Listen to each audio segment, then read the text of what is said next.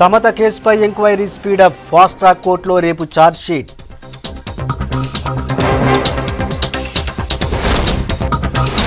పత్తి రైతుల్ని ముంచుతున్న దళారులు రిమోట్ సాయంతో తూకంలో మోసాలు.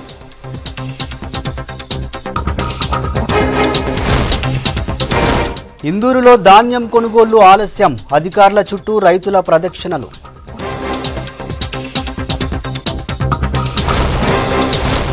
కాస్ట్లీ నాన్ వెజ్లో కడక్నాథ్ చికెన్ కరీంనగర్ హోటల్స్లో ఫుల్ గిరాకీ.